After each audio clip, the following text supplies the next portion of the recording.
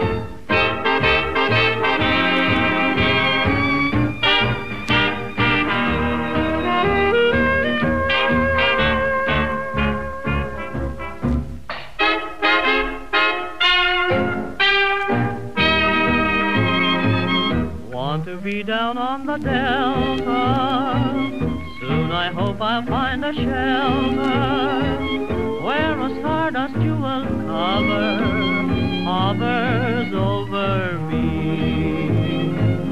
Want to be down on the bay just to see the friends that I knew. If I don't, I sure go dippy, dippy, hear my plea.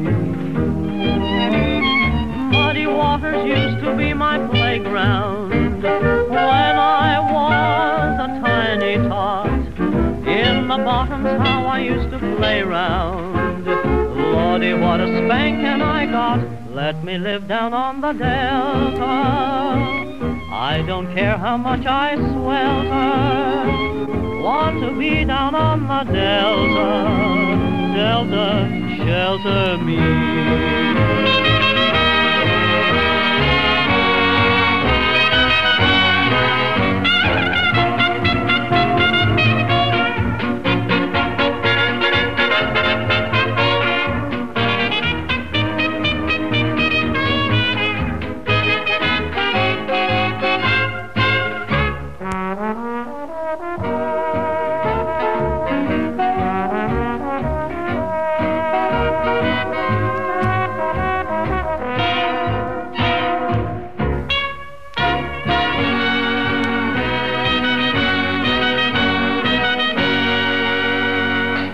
Was a very bright arrangement there by Bert Reed with the Sydney Lipton Orchestra of Down on the Delta and the vocalist Sam Brown. One of the top combinations of the golden age of the British dance bands was at the Grosvenor House Hotel, where tall, dark, handsome Sydney Lipton, their leader for an all time record period, bore himself, as befitting such an establishment, with the dignity of a black rod. So let's hear them in a very bright arrangement of Hey Young Fella.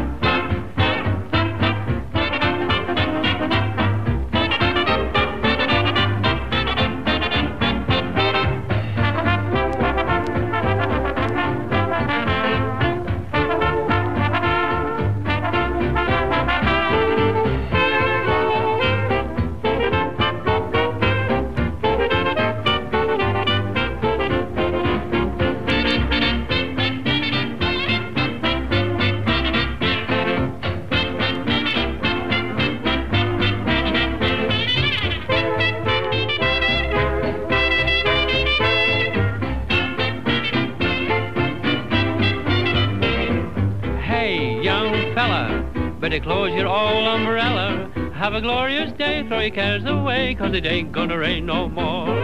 Say, young fella, put your raincoat in the cellar. While you're tying your tie, take a look at the sky, well, it ain't gonna rain no more. Look at that brave little rainbow, fighting the clouds above. I'm in the ring, Mr. Rainbow, with a horseshoe in my glove. Hey, young fella, better close your old umbrella. Give your pants a hitch, cause we're gonna be rich and it ain't gonna rain no more. Hey, young fella, put away your umbrella. Have a glorious day, throw your cares away, cause it ain't gonna rain no more. Say, young fella, put your raincoat in the cellar. While you're tying your tie, take a look at the sky, well, it ain't gonna rain no more. Look at that brave little rainbow, fighting those clouds up above. I'm in the ring, Mr. Rainbow, with a horseshoe in my glove. Hey, young fella, better close your old umbrella. Give your pants a hitch, cause we're gonna be rich, and it ain't gonna rain no more.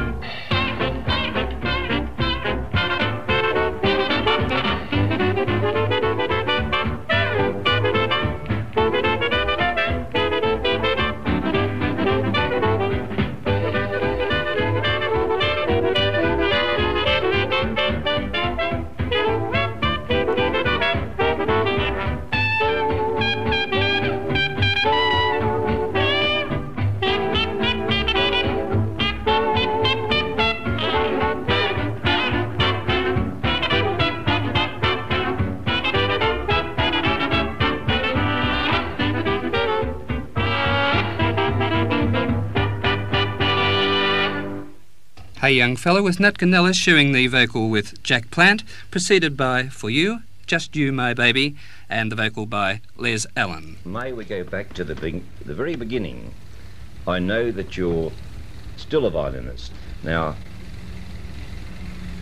was it because you wanted to play the violin that you took this instrument up, or was it because your parents wanted a violinist in the family? Um, we, we had no professional musicians or, or even amateur musicians in the family, but the family were always interested in music, and I was taken to numbers of concerts, and I sort of grew up with a, a, a feeling for music. And eventually, one day, my oldest brother, he was the oldest and I was the youngest, my oldest brother brought a violin and said, uh, How would you like to play that?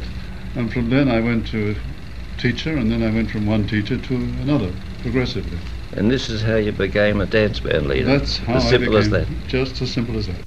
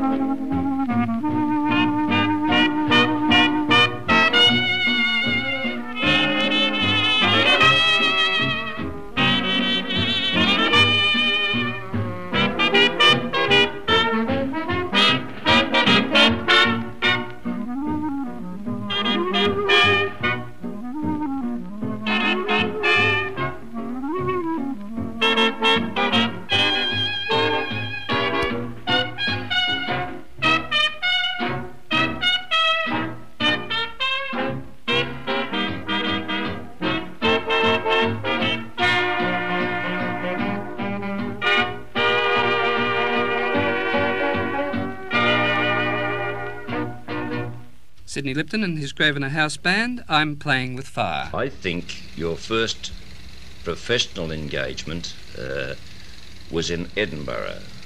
Uh, well, no, not quite. No, I had uh, various engagements before that. I, I even played. Uh, I hesitate to tell you, but I even played in the silent cinema, and I played in theatres in the pit, uh, in the pit orchestras for theatres. Um, but virtually, I mean, the, the, first really important engagement was at the Palais de Danse, um, Edinburgh. Oh, that's a, a ballroom. Oh yes, the ballroom.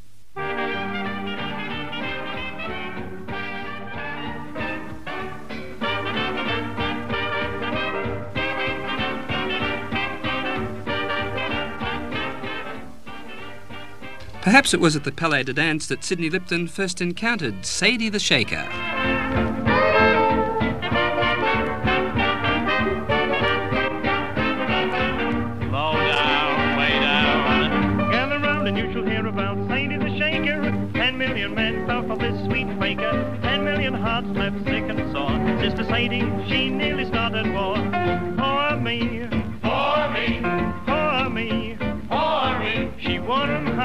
With rolled up socks, but she's sleeping now in a wooden box. Let it go, boy, let it go.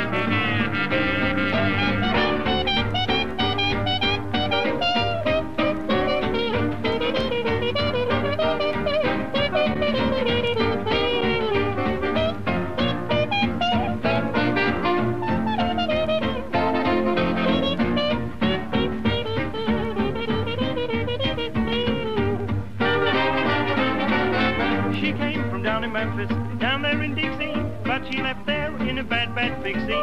Police, they put her on a train, but she laughed and said, I'll be back again. Bandy doo the battle, bandy da know. She sure came back like Pomona, she came back in a wooden kimono. Hypocrites, Loction, Krepler, Du, Gefilte Fischstrudel. the fish through. And the same to you. She went to old Siam to call on the king, oh, watching him there, it ain't fit to sing, oh. he gave Sadie his golden crown, and the queen's army ran him out of town. Baddy-doody, baddy-doody, baddly-baddly-bo, the kingdom fell with much regret. Listen, none, cause you ain't heard nothing yet. Yo, yo, ski. Boy, my ski. Sadie went on out to Russia and met Comrade Minsky. she had no trouble getting in ski. She said, dear comrade, you're all wet. Where they chased her, the dust ain't settled yet. Sadie, shake, Say, shake, shake it here. shake it here. In Russian land, if they all drunk vodka. Sadie taught the men to get red vodka.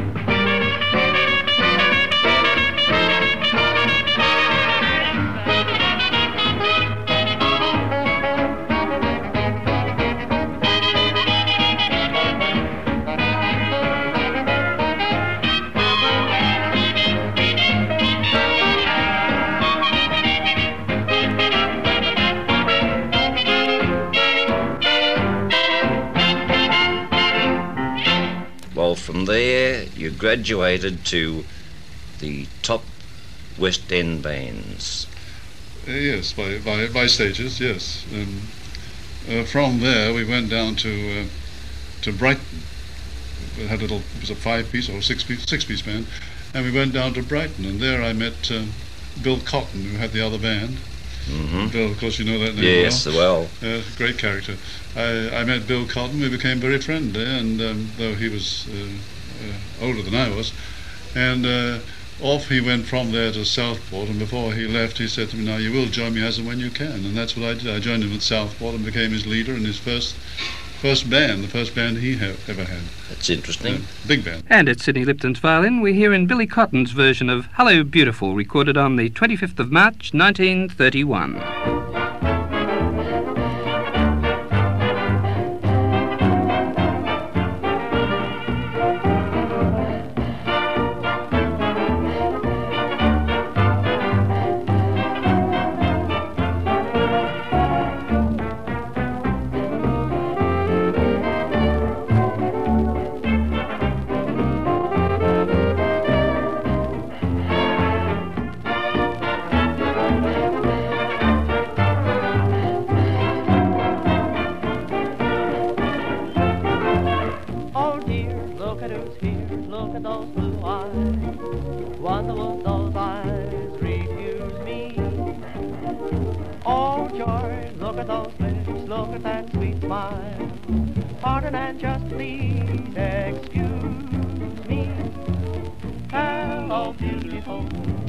You get so beautiful? How'd you get that sunshine in your smile? Tell me, beautiful, where you going, beautiful? How'd you like to romance for a while? When you're near, what joy and cheer you're bringing. Can't you hear the bees and birdies singing? Oh, hello, oh, beautiful. How can you be beautiful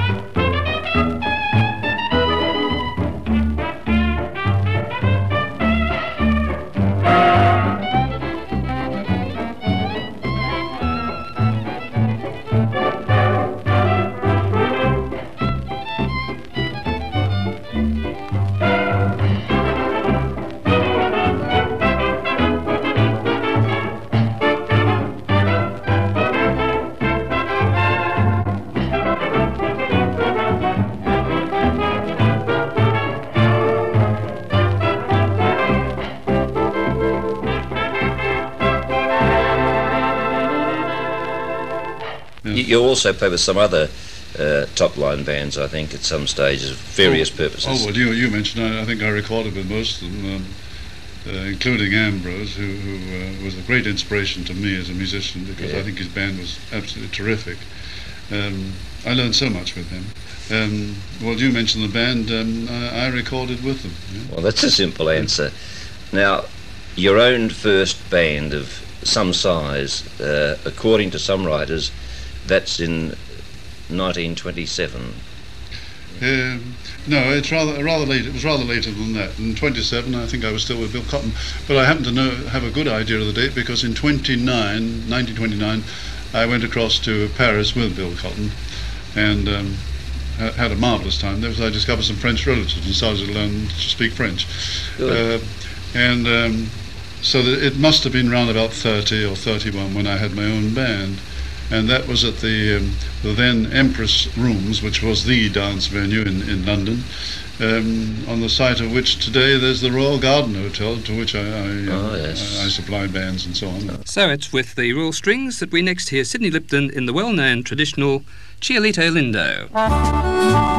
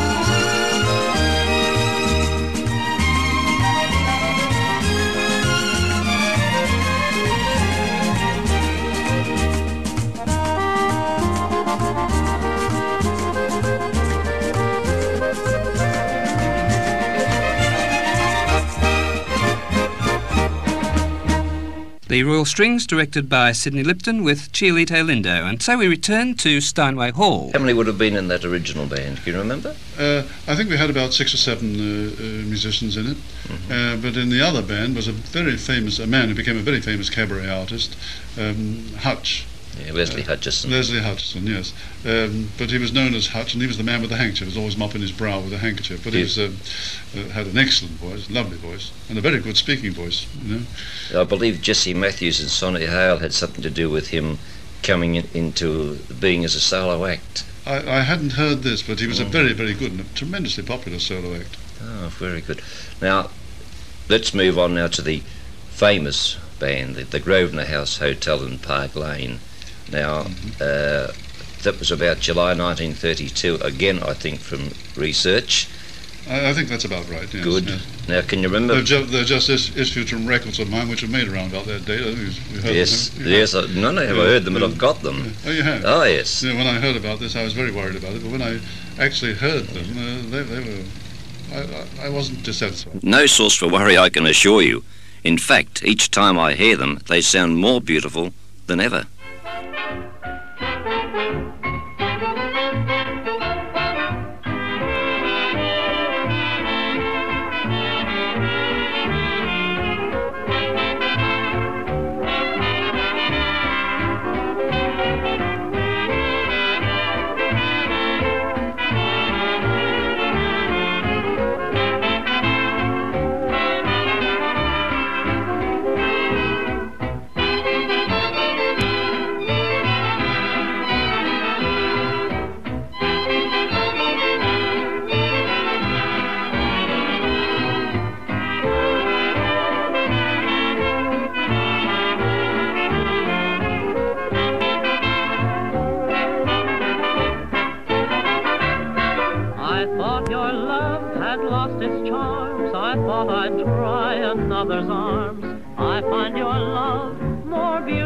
than ever. I thought your kiss had lost its thrill, but now I know it never will. I find your kiss more beautiful than ever. Sweetheart, I didn't think your caress brought the happiness that I felt was mine. Now in that same old caress, humbly I confess it's a thing divine. Although I said that we were through, I know I'm still in love with you. I find your love more beautiful than ever.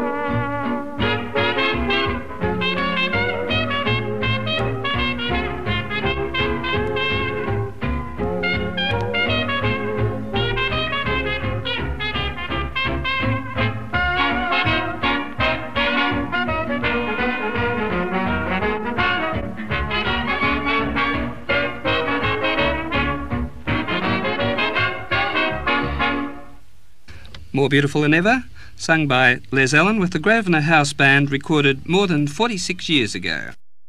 Can you recall, without going to the record sleeves, what was the composition of uh, your original band in the, at Grosvenor House? Uh, well, it, the original band, oh gosh, um, Roughly. roughly, um, I'm just trying to think. I honestly, off offhand, I couldn't say. Well, according to the Brian Rust discography, it was three brass, three reeds, conventional four rhythm, and yourself. Would that be right? That's right. Uh, from there, oh, I want to ask you, when you were there, did you lead the band with a baton at all times, or did you sometimes play with them, or How, Oh, well, you I- fronted the band. Yes, in what well, manner? I, I always had a fiddle and a bow in my hand, and I played from time to time, and then sort of flourished with a bow. You know, so yes. pepper and salt, a little bit of each. that's that's the idea. And by the wave contrast, we'll hear and enjoy Sam Brown's vocal as he sings with the Grosvenor House Hotel Band, Masquerade.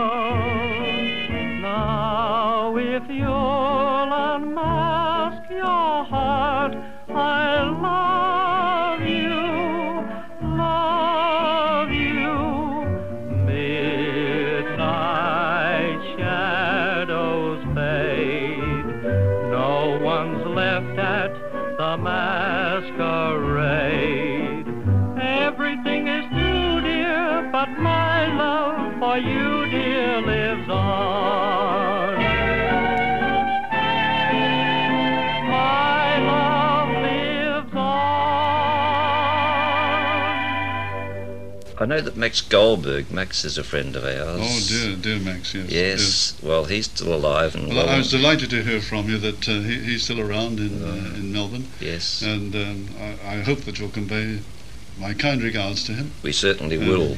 Tell him I, I remember him with affection, Yes. and um, I, as I say, I'm delighted to hear he's with us. Well, I'm sure that he'll be listening to the program, so he'll he- hear that message for himself. Well, apart from Max Goldberg, he told me that Ted Heath was with you. That's right. Now, who are some of the other top line musicians? Uh, of course, Max and Ted came to me from, from the Ambrose band. you know. Oh, yes. Yes. Uh, in, in regard to Ted, it was um, he was available because um, I think Ambrose had to make a choice between him and Ted playing the trombone with uh, uh, another trombone player, and he made the choice, which was made in the, uh, the toss of a coin, I think. In fact, I probably precipitated it by uh, asking Ted to join me, and of course, Max, I asked Max at the same time, which was a tremendous thing for my band. Mm. Thank you.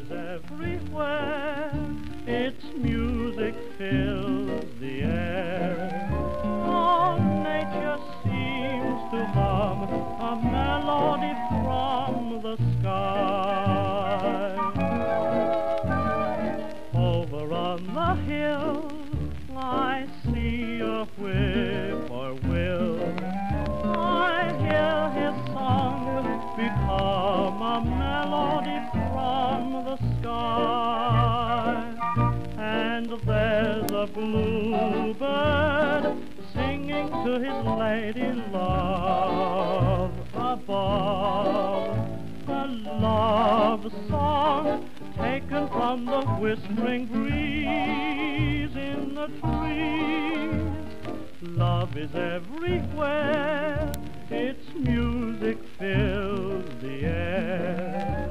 All nature seems to hum a melody from the sky.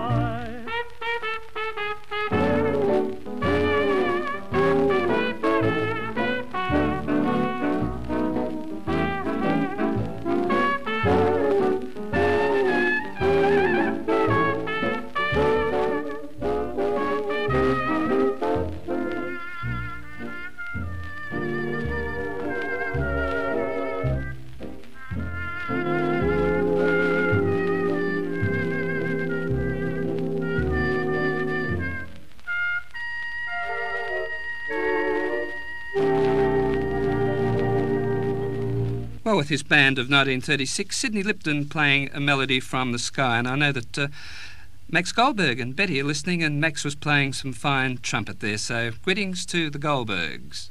This is the period you did Robins and Roses. In fact, it's a good double sider and probably my favourite Lipton recording. Well, here's uh, Sydney Lipton once again with Robins and Roses.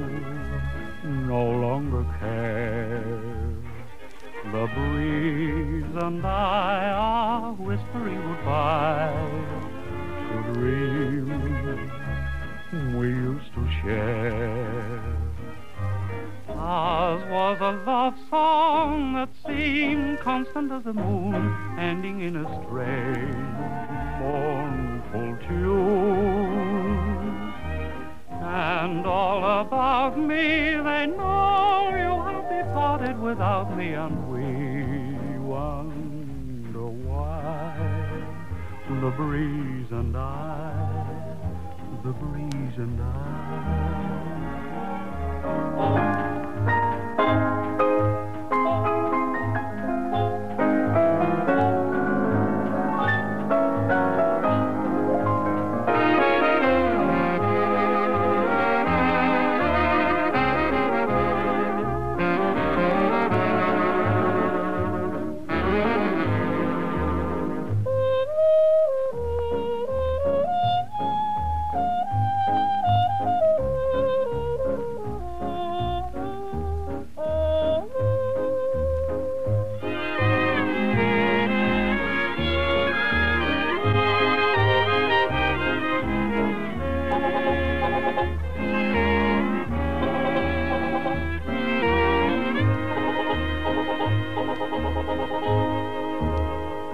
Breeze and I, a very lovely arrangement. Let's see, that'd be uh, Billy Munn? Oh, Bill, yes, Bill, the great pianist. Of course, he came from Jack Hylton, a great character, Yes. a great, great player. He's still playing. Yes, I know he's down at uh, Torquay. He's the musical director of the Imperial Torquay. If you if you wander down there, you'll find him there. A bit late to get down there now, but Tiny's been down there at Paignton. Tiny, yes. Oh, yes. And uh, yeah. Tiny Winters told me that he had a very pleasant afternoon having Yeah. a reminiscing period uh, with Billy Munn. Well, the last time I was down, uh, I was down in Torquay some years ago. Uh, believe it or not, Bill and I, we spent the whole night playing violin concertos and, and sonatas, literally the whole night. A little way from dance band Oh, uh, music. yes, right away from it. But we, we variety is the spice of life. And just to prove the point, here is Sydney Lipton playing a violin concerto with piano accompaniment.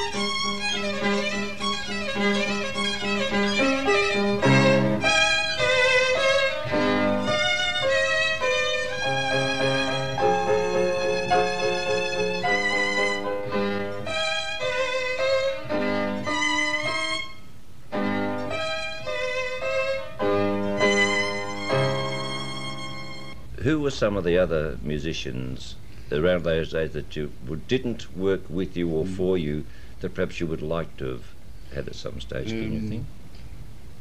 Joe Crossman comes to mind because he was a, a Saxophonist, lovely saxophonist. yes. He was with Ambrose. Um, And then to Lew Stone? Yes. Uh, there was a, I, I must remember there was a, a, a trumpet player, Chelsea Quealey, an American Yes. trumpet player who worked with Ambrose, a great, uh, and I think he also worked with Elizalde. And of course, I Yeah. recorded with Elizalde from time to time too. Um, Lew Stone, of course, there was uh, uh, Joe Ferrie who played the trombone with the Bill Cotton Band. Mhm. There was Sid Buckman who played the uh, the trumpet, came from the, the Bill Cotton Band. um, there was a Harry Burley who played fiddle, he played uh, viola and sax. Yes, Lovely musician.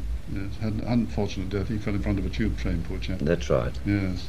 But one of the people I remember in that time, um, not from the Rousseau band, but one of the great, great players was um, Adrian Rollini, Oh, who played yeah. bass and vibraphone. What a what a marvelous player that man was. I was. waiting for you to mention Yes, him because yes. earlier, before we started to tape, you had, Yeah, and yeah. it was behind Yeah. my question, really. Yes. Um, Some great names there. oh, but uh, Rollini was an inspiration to us all, I think. Oh, beaut. Uh, now, thinking of your own bands again, uh, which of your own bands? Now, this may be an unfair question because undoubtedly they're all excellent They- bands. Oh, yes. But which, like, there must be something about some one of them combinations that you feel was the best. Now, which would you term was the best band you had? It's a, it's a difficult question to answer in a way, but um, since you've asked it, I would say that the band I had in 1939 before the war started, uh, right up to the time of the war. What about the Decca session on the 13th of January 1938 when you cut eight sides, all except one of which were first takes? Um, on that particular session, which I remember very well because it was one of the most successful sessions we ever had, um, we, we recorded, as usual, about eight, eight numbers, and uh, we were there all day. But among those numbers um, were some uh, compositions by Raymond Scott, uh, including Reckless Night on Board an Ocean Liner, dinner music for uh, Hungry Cannibals. Uh, the, whole- the whole session is very vivid because it was so so good and so successful. You know, um, I had a uh, subsequently I had a cable from uh, Raymond Scott to say how much um, uh, he enjoyed the recordings, and which I appreciated very much. Unfortunately, I never got the benefit of it in the United States because they never put out any of our records, any of the British records, except for Ray uh, Noble, who really was working in the States. Oh, at that Uh, time. yes, they uh, they never put out any British records, so I never really, uh, none of us ever got the uh, the benefit of that. From the session in question, we have the fascinating Sid Phillips arrangement of Amoresque, followed by It's a Long, Long Way to Your Heart with vocal by Al Bowlly.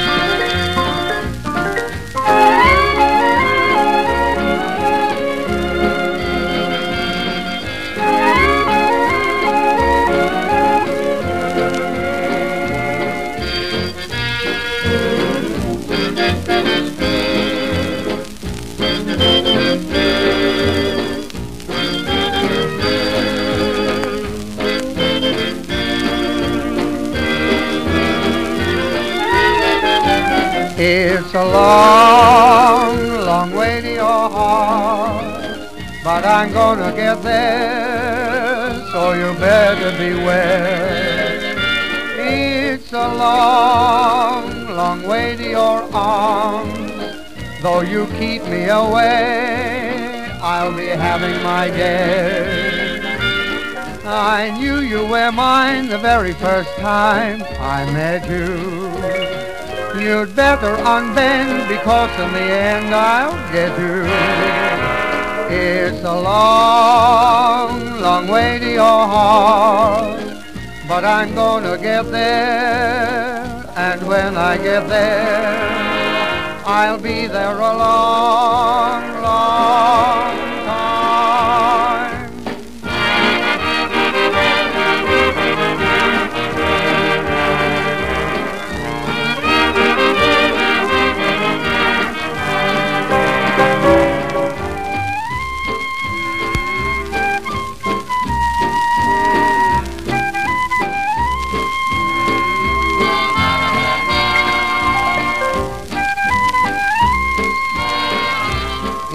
It's a long, long way to your heart, but I'm gonna get there.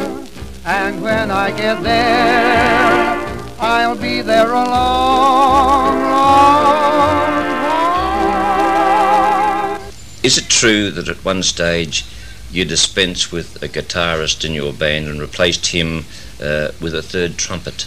Uh, we replaced him with a flugelhorn, in, in point of fact. a flugelhorn. But uh, the, the, the change was, I regretted very much because we had a, a really fine guitarist, um, Jack Llewellyn, who's still around teaching today, but I really uh, acknowledge a, a great exponent of the guitar. But unfortunately, the reason for the change was that unfortunately we, uh, the, the guitar then was an acoustic instrument, Mhm. and uh, whereas today it's probably the loudest um, uh, instrument in the band. I could think of in another tho- word, In yes. those days, you could hardly you could hardly hear it. It was very very subtle. But Jack was a great player. But I, I regretfully changed over because it was just wasted. All his, his artistry was wasted. So over we went to uh, not to a third trumpet, but a flugelhorn. And what? Why the flugelhorn? Was there a reason uh, behind your choice Yes, of it was. Yes, it was an innovation in those days. But Yeah. I felt that the flugel was, was a sort of a bridge between the trombone and the trumpet, Ah. and it worked very well. It was a wider sort of sound, a, a, a bigger sort of, a different sound, um, and uh, it, it bridged the two, and it was very successful. Well, this worried me since I read it because I, I, I've haven't been able to pick it up. Now I'll, I'll, I'll listen more attentively and perhaps I may be Well, able you'd, to. you'd find it very difficult to pick up because uh, these re- recordings then were, compared to today, of course, uh, primitive. They were relatively primitive. Yes. And uh, I, I doubt whether you could um, uh, pick pick out that particular instrument. Hmm. It would blend with the trumpets and the trombones. It, would, it would almost sound like a trumpet on, on those recordings. Today, of course, it would be different. This brings us to Al Bowlly, of course. Oh, you would have known uh, Old Bowlly too. I knew him very well. He, of course, uh, as you may know, he, he recorded a number Yeah. of things with us. That's right. Yes, oh, yes, I knew Al very well. How'd you find him? a very, very pleasant chap. I never had any bother with him at all. He came in and he smiled throughout his uh, the recording session or whenever he was with us. Uh, perfectly all right. He never never sang with you in public. Uh, No, I don't think. No, he ever did. It was always No. on, on, on records. yes, only at, at Yeah. uh, recording date. Yes. Speaking of vocalists, something unusual about your band was that you had your daughter Celia singing with you as the vocalist. Uh, was this purely parental pride? No, this wasn't my idea at all. Uh, Celia, even as a child, she was always keen about going on stage, and obviously she was going in that direction. And she had ballet lessons and um, uh, dancing and uh, and the piano and singing and all the rest of it as time went on. But eventually, uh, at one stage, she got in touch with a, um, a rival, if I call him that, uh, band leader Jack Harris. Oh, yeah, yes. He I think he was connected with Ambrose in some way, wasn't he? well, he, yes, he worked Yeah, along with Ambrose. yes. When Jack got through to me and said, "Your daughter's been in touch with me. Cena's been in touch with me, and she wants to sing with the band. We've heard her sing, and we'd like to have her in the band." So, of course, that, that, that prompted me to say, "Well, if he's going to sing with anybody, he's going to sing with me, where I can keep my parental, as you call it, my Yeah. parental eye on her." Oh, good. That's how she sang with my band for a time until she went off on her own. She uh, she went on the stage as a, as a, a solo artist and an actress. Well, we've mentioned Celia, Billy Munn, and Sid has nominated the band, so let's put them all together with Celia singing with her father's band, the Billy Munn arrangement of Why Does My Heart Go Boom?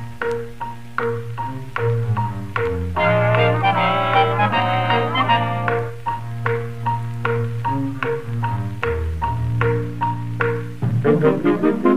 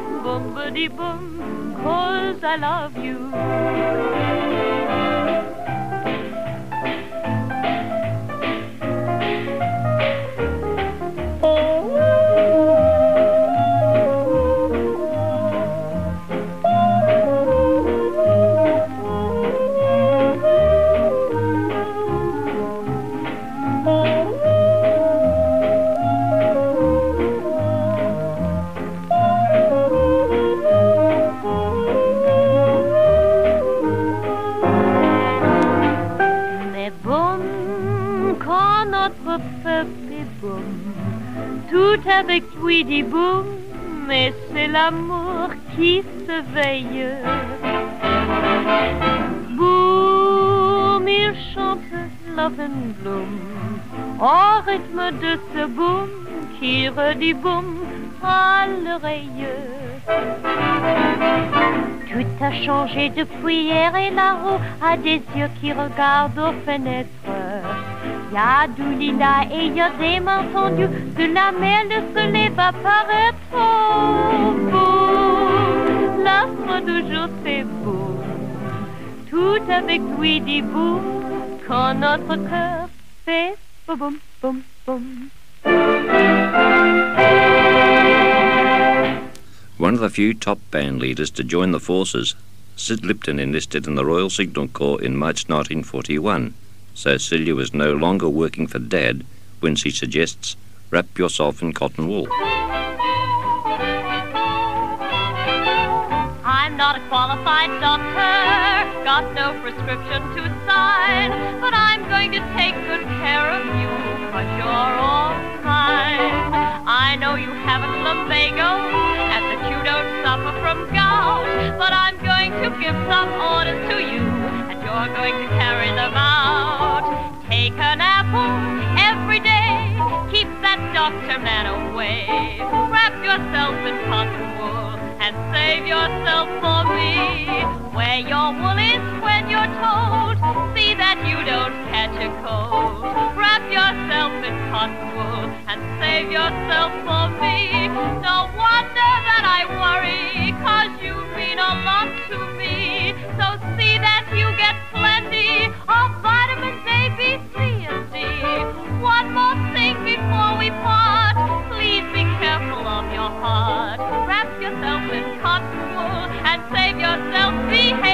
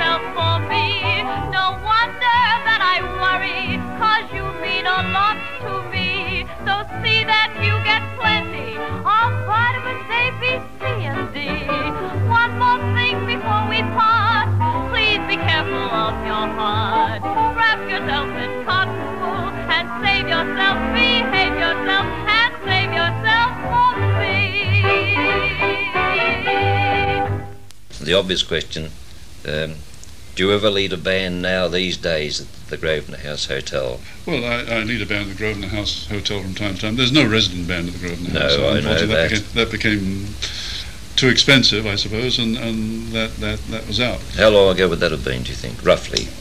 Very roughly, off the top of my head, so to speak. Uh, I think about 1950, 52, something I like see. that, yes. But they still have the big band there on occasion. Well, oh yes, for the various big functions that take place. Mm. Uh, some of the functions from Australia. Obviously, you're still connected with the musical scene. Now, what do you do these days? Well, I, I lead a sort of Jekyll and Hyde life. I've, I have this uh, agency, and uh, we're kept very busy. So, uh, in the daytime, I- I'm an administrator in the agency, or managing director, what you want to call me. And uh, uh, at night, I, I change and I become a musician when, when it's uh, uh, necessary. Be very Yeah, interesting. but I'm bas- basically, I hope I am a musician. I think you are. Uh, oh yes. May I say how, how delighted I am to uh, to be on this program, and uh, may I say once again, my friends in, in Melbourne who may be listening, my kindest regards, including of course uh, Manx. Good. Thank you, and goodbye. But in thanking Mr. Sydney Lipton, I must add that in my view, he is a particularly nice and an exceptionally understanding gentleman. At short notice, he made arrangements for me to visit him for the original interview. When Sid's secretary told him I had inadvertently wiped it off my tape, he rescheduled his appointments and made it possible to record our chat for the second time. Not many busy executives would do that.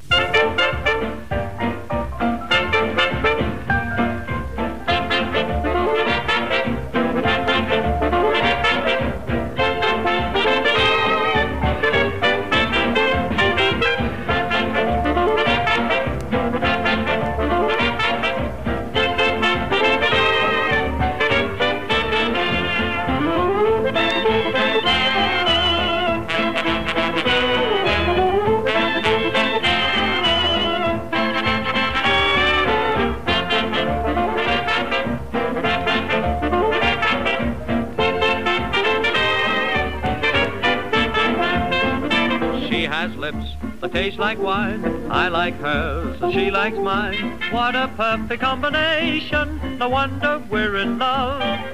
She has charms, a perfect taste. I have arms that fit her waist. What a perfect combination. No wonder we're in love. She taught me one thing. Love is only what you make it. And I know one thing. She can dish it out and I can take it. We both want a family. I want twins and so does she. What a perfect combination. No wonder we're in love.